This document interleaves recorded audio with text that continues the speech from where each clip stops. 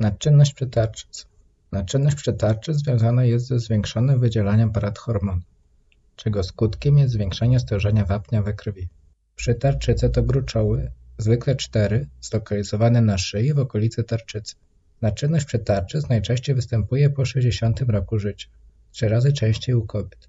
Nadczynność przetarczyc możemy podzielić na pierwotną, związaną z nadmiernym wydzielaniem PTH, czyli parathormonu, na wtórną, związaną ze zmniejszeniem wapnia w surowicy i trzeciorzędową, związaną z nadmiernym stężeniem wapnia i parathormonu. Najczęstszą przyczyną pierwotnej nadczynności przetarczyc jest gruczolak, czyli łagodny guz jednego z gruczołów. Najczęstszą przyczyną wtórnej nadczynności jest PHN, czyli przewlekła choroba nerek. Najczęstszą przyczyną trzeciorzędową jest nieskuteczne leczenie wtórnej nadczynności przetarczyc. Początkowo choroba przebiega bezobjawowo. Potem mogą pojawić się objawy związane z długotrwałym podwyższeniem poziomu wapnia. Jest to kamica nerkowa, często obustronna. Występują również bóle kostno-stawowe i wrzody żołądka. Może pojawić się ciągłe zmęczenie, a także depresja, ponieważ wysoki poziom wapnia może uszkadzać komórki nerwowe. W diagnostyce wykonuje się morfologię, w której można stwierdzić wzrost wapnia, rad hormonów, a także ALP. Nie mylić z ALT.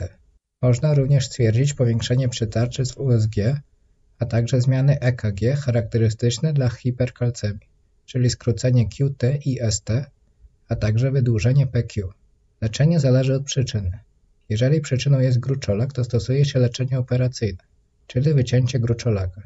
Jeżeli możliwa jest precyzyjna lokalizacja gruczolaka oraz możliwość śródoperacyjnego pomiaru PTH, można przeprowadzić MIP, czyli minimalnie inwazyjną paratyroidektomię.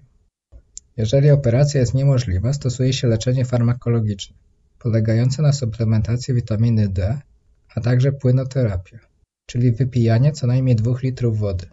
Zalecany jest również wysiłek fizyczny. Do typowych powikłań należą osteoporoza, która może doprowadzić do złamań kości, a także niewydolność nerek. W przypadku niezłośliwych zmian rokowanie jest bardzo dobre.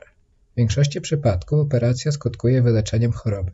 Jeżeli zmiana jest złośliwa, czyli mamy do czynienia z rakiem przytarczyc, u 30% chorych operacja doprowadza do całkowitego wyleczenia. U kolejnych 30% chorych nawraca i potrzebna jest kolejna operacja, a u pozostałych 30% choroba ma szybki i agresywny przebieg.